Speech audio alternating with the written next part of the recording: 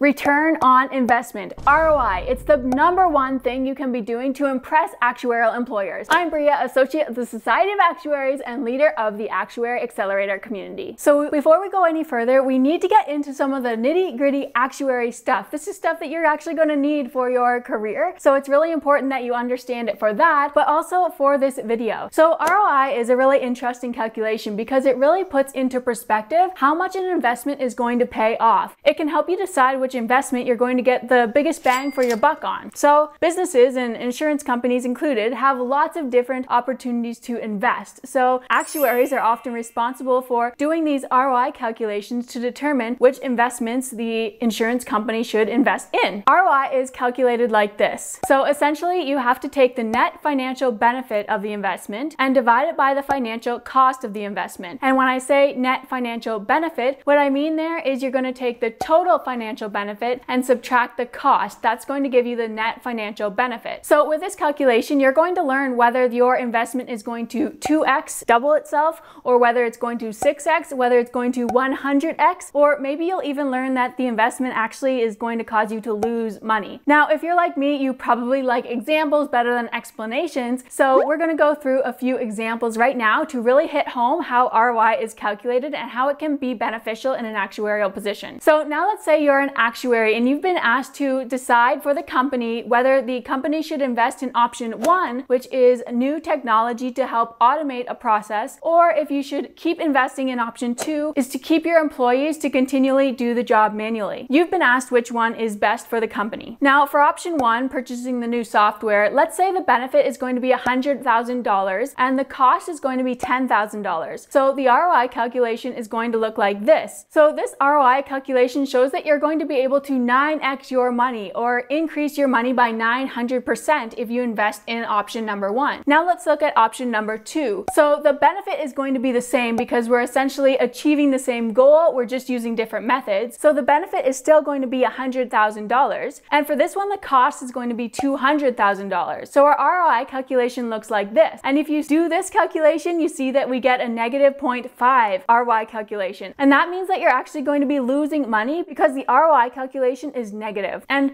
in this particular case, you're going to lose 50% of your money. So which one would you choose? Right now, based on ROI calculation alone, you'd probably choose to go with investment number one or option number one because that one is actually going to 9x your money, whereas the other one you're losing money and you don't want to do that in most cases. But quick side note here, ROI isn't the only calculation that actuaries would take into consideration here. You have to consider other things because getting the best return on your money might not be the only reason reason for doing this project. The actuary would also have to consider different things like the capacity that the insurance company has to complete such a project. They'd have to consider how long it will take. They'd have to consider other factors that might increase the risk with either option. So there are other things to take into consideration other than just ROI. So now let's look at another calculation that's a bit more complex. And actually this one will be more relatable to you. I'm sure there are times in your life where you've calculated ROI. It might have not been intentionally, but it's things that you do in the back of your mind automatically, and you're doing them all the time when you're deciding what you should invest in for yourself. So let's look at an example that you've probably been in yourself where you maybe considered purchasing resources to help you get an actuarial job. So for the financial benefit portion of the ROI calculation, you probably took into consideration things like the value of getting an actuarial job. So let's say in your first year, that's going to be about $50,000. You probably took into consideration things like the amount of time you're going to save. Time is important to consider consider because your time has a value. You can go out and work for a company and they'll pay you for your time. So that means that your time has value and it should be included in an ROI calculation for sure. So let's say these resources will help you save 100 hours of your time. Most likely it's going to be more, but we'll be conservative and say 100 hours. If your time is worth $15 an hour, then that's $1,500 for this portion. Now you also maybe considered things like the access that you'd get to actuarial professionals that you wouldn't be able to get otherwise, and we'll count that as is $1,000. Now there are probably other things that you consider too, but we'll just use these three things. So that means that your total benefit is going to be about 56,500. Now in the ROI calculation, you also had to compare this to the financial cost. So let's just use the Actuary Accelerator community for this example. No one's probably going to pay more than $1,800 for the Actuary Accelerator community throughout the time that they're in there. So 1800 is kind of the maximum investment that someone would expect. So if we put this in the ROI calculation, we get an ROI ROI calculation of 30. So this is exactly the reason why you probably decided that you would invest in these resources or that you're going to invest in these resources because they have a huge payoff. And that's not even taking into consideration all the income that you're going to earn from future years working in that actuarial role, right? That's just your first year. So it's like a no-brainer that you're going to invest in these resources, right? Okay, so now I think you have a really good understanding of how the ROI calculation works, how it could apply to actuarial work, how it applies to your own work, and that's given you a good foundation.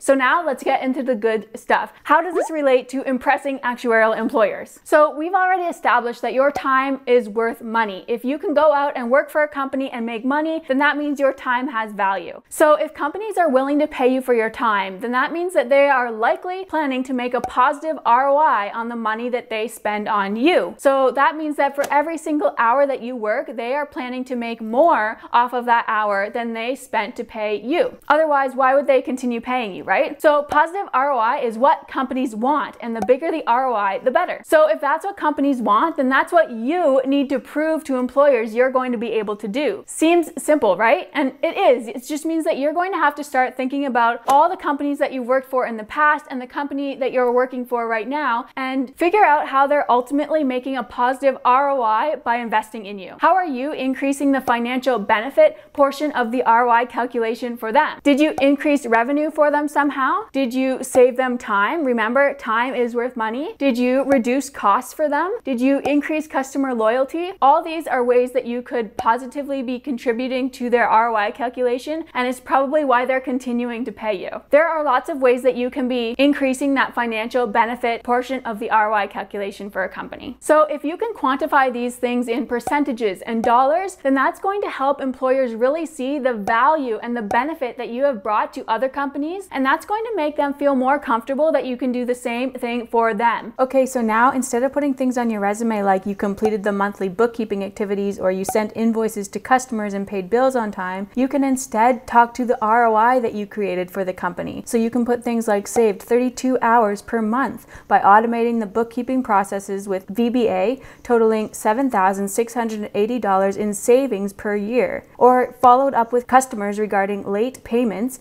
collecting an average of $2,439 in late payments per month. These are the things that actuarial employers really care about, and those are the things you should add to your resume. So now, if this video has made you think about your resume in a whole new way, make sure you give it a thumbs up so it can spread to more aspiring actuaries. And now we'll get to the question of the week. What is one thing you're doing right now for a company that you work for that is increasing the financial benefit portion of their ROI calculation on you? Let me know down in the comments, and I will see you in the next video. Bye for now.